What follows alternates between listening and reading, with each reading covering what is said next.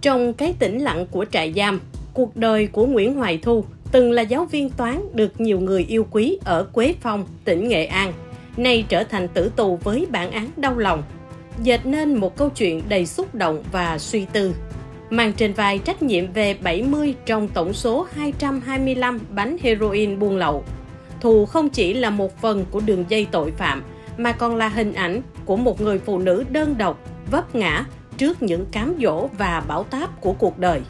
Nhưng trong tình cảnh tuyệt vọng, nữ tử tù này không chỉ giữ vững tinh thần lạc quan, mà còn gửi gắm hy vọng và sự giúp đỡ đến những mảnh đời bất hạnh khác bằng việc đóng góp 3 triệu đồng cho một cháu bé ở Đô Lương, Nghệ An từ dòng tin tức lướt qua trên một tờ báo.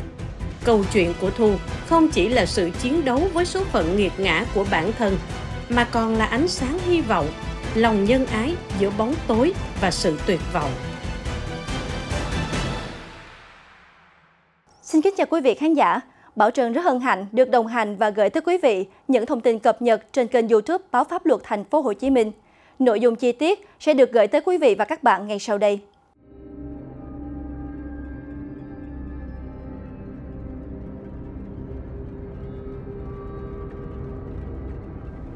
dáng người nhỏ nhắn, khuôn mặt ưa nhìn, cộng với khả năng hoạt ngôn, khiến Nguyễn Hoài Thu, sinh năm 1980, trú xã Tiền Phong, huyện Quế Phong, tỉnh Nghệ An, dễ dàng chiếm được cảm tình của người đối diện. Dù là gái bản, nhưng với vẻ đẹp trời phú, Thù đã nhanh chóng hút hồn một chàng trai thành phố. Cuộc hôn nhân của cô sơn nữ và anh chàng miền xuôi khiến nhiều người trầm trồ ghen tị khi họ chào đón đứa con trai đầu đời. Với nghiệp vụ sư phạm sẵn có, Thù xin được vào công tác tại ngôi trường cấp 2 của xã. Cuộc sống êm ấm hạnh phúc hơn khi vào năm 2002, hai vợ chồng sinh bé trai đầu lòng. Thế nhưng, hạnh phúc ngắn chẳng tày gan. Quế Phong là vựa ma túy lớn của miền Tây xứ Nghệ. Cũng vì cám dỗ đầy ma lực của việc buôn bán cái chết trắng, gia đình Thu đã ly tán chồng Thu mang theo đứa con trai trở về thành phố. Thu ở lại nuôi giấc mơ, mang kiến thức về cho những đứa trẻ nghèo quê mình. Để tạo điều kiện cho Thu yên tâm công tác, nhà trường đã bố trí cho Thu ở tại khu ký túc xá của trường. Không gia đình, nữ giáo viên này phải chuyển về sống tại ký túc xá của trường. Cuộc sống buồn tẻ sau những giờ lên lớp đã kéo Thu đến với những cuộc giao du không đoán định, khiến số phận rẽ ngang với sự quan tâm, tin tưởng và tạo điều kiện từ ban giám hiệu nhà trường, sự yêu mến của các em học sinh và phụ huynh. Đáng lẽ, Thu phải trau dồi chuyên môn, say mê sự nghiệp trồng người.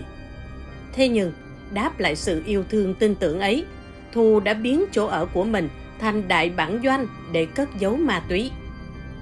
Chỉ sau khi đường dây buôn bán trái phép chất ma túy do Nguyễn Công Hải, sinh năm 1959, trú tại Quỳ Hợp, cầm đầu được triệt phá thì chân dung của một giáo viên vùng cao kim chân rết đường dây ma túy xuyên quốc gia mới được bóc trần. Thu kể, cái cảnh gia đình ly tán khiến cô cần sự sẻ chia và người được Thu chọn để tâm sự nỗi lòng là Nguyễn Thị Châu, sinh năm 1968, trú cùng xã. Một người phụ nữ vốn làm nghề buôn bán, có của ăn của để, nhưng sởi lởi dễ gần một lần ngồi chơi với Thu, Châu ngọt nhạt dụ dỗ Thu tham gia vào đường dây ma túy xuyên quốc gia. Để cho Thu yên tâm, Châu còn vẽ ra một viễn cảnh giàu sang về những lợi nhuận khổng lồ từ buôn ma túy. Nghĩ cái cảnh giáo viên lương ba cọc ba đồng chỉ đủ đắp đổi qua ngày. Thu gật đầu đồng ý và hùng vốn với Châu để nuôi giấc mộng đổi đời. Được sự bày vẽ từ Châu, Thù đi lên khu vực biên giới gặp đối tác người Lào để lấy hàng. Tuy nhiên, do không biết tiếng Lào nên thù đã bị thất bại trong lần giao dịch đầu tiên. Với quyết tâm làm giàu tới cùng, Thu điện thoại cho Châu nhờ Châu liên lạc với đối tượng người Lào để tiếp tục giao dịch. Với sự giúp đỡ của Châu, chuyến hàng 70 bánh heroin được giao dịch thành công. Sau khi đưa heroin về cất giấu tại phòng mình ở ký túc xá của trường, Thu tìm cách tuồn hàng về Vinh để giao cho ông Trùm. Để tránh sự nghi ngờ của cơ quan chức năng, Thu nhờ chị dâu là Nguyễn Thị Nhung, sinh năm 1976, trú tại thị xã Thái Hòa, tỉnh Nghệ An, vận chuyển 30 bánh heroin xuống thành phố Vinh. Khi Nhung đang giao số ma túy trên cho Vũ Đức Mạnh, sinh năm 1964, trú tại tỉnh Nam Định, thì lực lượng chức năng bắt quả tang. Từ lời khai của Mạnh và Nhung, Nguyễn Hoài Thu bị bắt ngay sau đó. Khám xét phòng ký túc xá nơi Thu ở, cơ quan chức năng thu giữ thêm 40 bánh heroin. Tại phiên tòa, dù đại diện Viện Kiểm sát Nhân dân tỉnh Nghệ An đề nghị mức án tử hình dành cho mình, Thu vẫn điềm tĩnh đến lạ lùng. Thu trả lời những câu hỏi của hội đồng xét xử một cách đanh thép, bất cần. Khuôn mặt người đàn bà này sắc lại, lạnh lùng. Phải chăng Thu đã tiên liệu được kết cục mà mình sẽ phải nhận hay những bầm dập của cuộc đời đã khiến Thu mất hết niềm tin, khiến cô sẵn sàng đón lấy cái chết như một món nợ có vay có trả. Vị chủ tòa nhận định, trong vụ án này, Thu là người có trình độ hơn cả. Lẽ ra biết được tác hại của ma túy và tích cực tuyên truyền giáo dục mọi người để ngăn ngừa tội phạm. Đằng này, bị cáo lại bất chấp tất cả vì món lợi nhuận khổng lồ, vì lòng tham và khát khao làm giàu bất chính. Thù đã gieo đau thương cho bao gia đình. Hai tiếng tử hình vang lên nhưng không một chút biến đổi trên sắc mặt của Thù. Có lẽ khi lập kế hoạch mua bán 70 bánh heroin, Thù đã biết trước được bản án nghiêm khắc của pháp luật dành cho những kẻ như mình. Có một chút gì đó như là tiếc nuối ở số người ít ỏi tới tham dự phiên tòa. Họ tiếc bởi lẽ Thù đã từng là một người giáo viên, một nghề được xã hội trọng vọng và tôn kính, nhưng đã không thể giữ được cho mình lòng yêu nghề và cái tâm của một người thầy.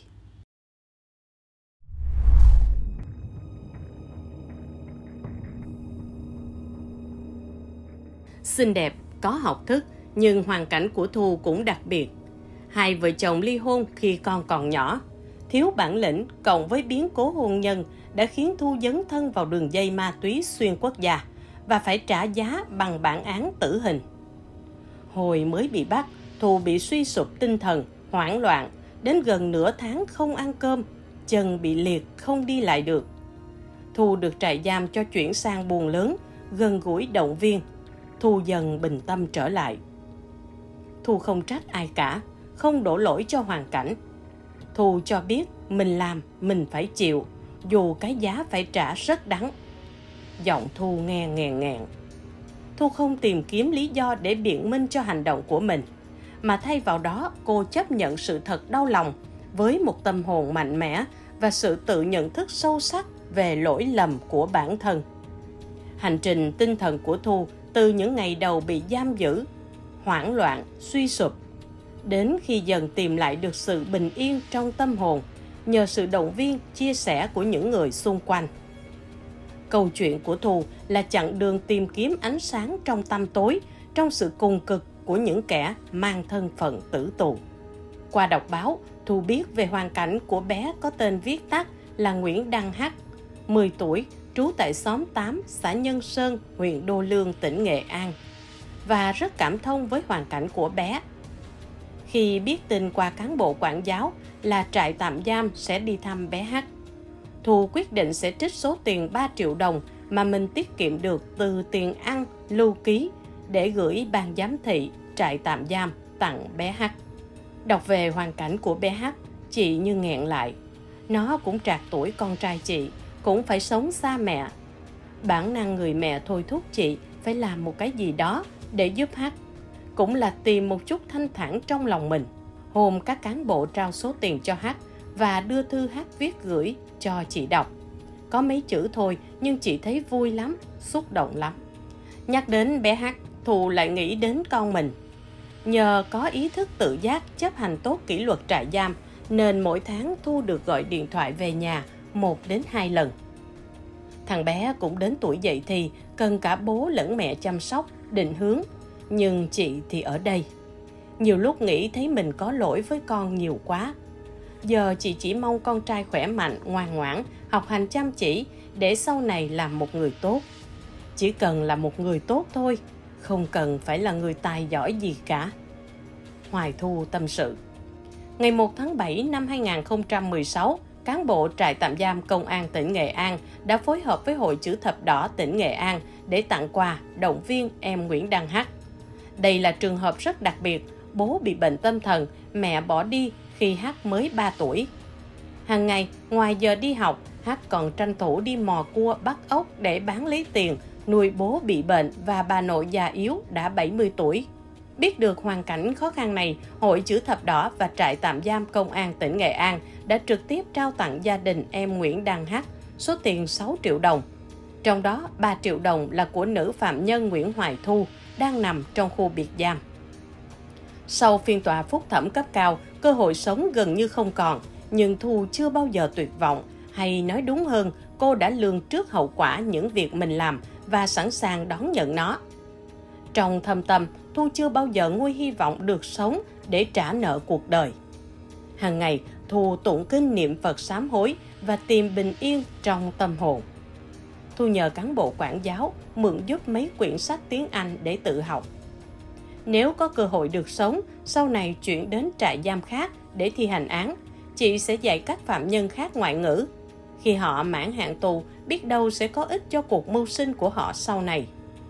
Giờ chị cố gắng không suy nghĩ đến những vấn đề tiêu cực, mà luôn nghĩ về tương lai với những dự định tốt đẹp, dù không biết mình có tương lai hay không. Nhưng chị sẽ cố gắng để mỗi ngày trôi qua không vô nghĩa. Vào đây rồi mới thấm thía được cái giá mình phải trả, những đau đớn tủi nhục mình gây ra cho gia đình, cho bố mẹ, cho con. Nếu ngày đó chị có bản lĩnh vượt qua được cám dỗ, vượt qua được chính bản thân mình. Nói gì thì cũng đã quá muộn rồi, không thể làm khác được. Chị chỉ mong ai đó muốn đổi đời bằng ma túy hay bằng bất kỳ con đường nào vi phạm pháp luật, thì hãy nghĩ lại trước khi quá muộn. Cuộc đời ngắn lắm, hãy sống để không bao giờ phải hối tiếc như chị. Thu nói như trực khóc. Hành động của Nguyễn Hoài Thu, một tử tụ từng là giáo viên, đã khắc họa nên một hình ảnh đầy cảm động với những chiêm nghiệm sâu sắc, là minh chứng cho sức mạnh không giới hạn của tinh thần nhân ái, một bài học quý báu về việc luôn có cơ hội để làm lại và để tỏa sáng, dù trong hố sâu của tuyệt vọng. Từ góc khuất của trại giam, Thù đã lan tỏa một thông điệp mạnh mẽ. Dù ở hoàn cảnh tuyệt vọng nhất, con người vẫn có thể tạo ra sự khác biệt, vẫn có thể đóng góp cho xã hội và vẫn có thể tìm thấy ánh sáng của lòng từ bi và tha thứ. Dù cuộc đời có ném vào hoàn cảnh khắc nghiệt đến đâu, ngọn lửa hy vọng và lòng nhân ái vẫn có thể bừng cháy, thắp sáng bóng tối và hướng dẫn chúng ta tìm về con đường đúng đắn. Những thông tin vừa rồi cũng đã khép lại chương trình của chúng tôi. Bảo Trần rất mong nhận được sự quan tâm và đồng hành của quý vị khán giả dành cho các chương trình trên kênh YouTube Báo Pháp Luật Thành phố Hồ Chí Minh. Đừng quên nhấn chuông theo dõi chúng tôi để không bỏ lỡ bất kỳ thông tin cập nhật nào. Xin chào và hẹn gặp lại.